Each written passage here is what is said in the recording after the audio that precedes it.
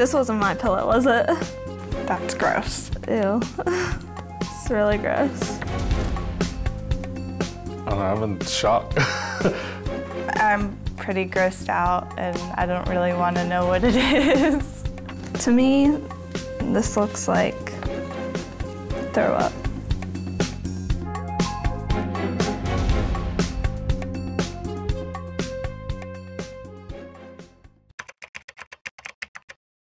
I was kind of scared what you guys were gonna find in my pillow.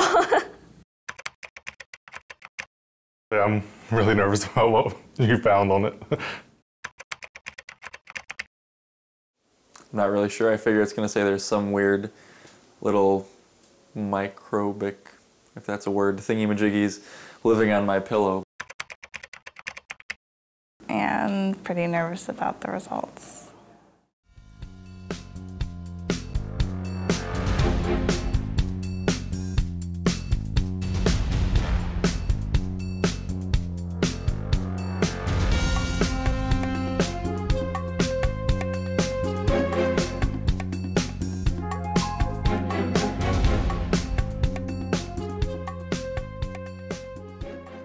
It's kind of scary that it, it picks up all that stuff.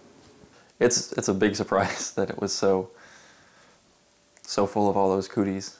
The study results were pretty gross. I would say replace and like get new pillows and mattress pads for school. After this study, I think I need to get, get rid of those other ones and um, replace them. It's gonna be in the back of my head every time I go to bed. I'm like, um, what am I laying on? Um, Cause I, I'm a very like OCD person, so I would never get into my bed without like I have to shower before I go to bed. So this has really shocked me because I, I don't know, I feel dirty now. I think hanging onto a pillow for eight or ten years is probably a very bad idea. I know my pillow is old, and now that I have a new one, um, I think I'm getting much better sleep. I'll probably replace them like every other month now.